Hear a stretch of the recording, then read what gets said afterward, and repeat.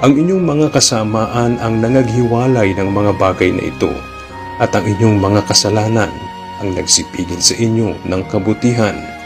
Jeremias 5.25 Sa ngala ni Kuya Daniel Razon, ako si Victor Cosare at dito sa UNTV, Diyos ang aming sandigan, serbisyo publiko ang aming pinahahalagahan.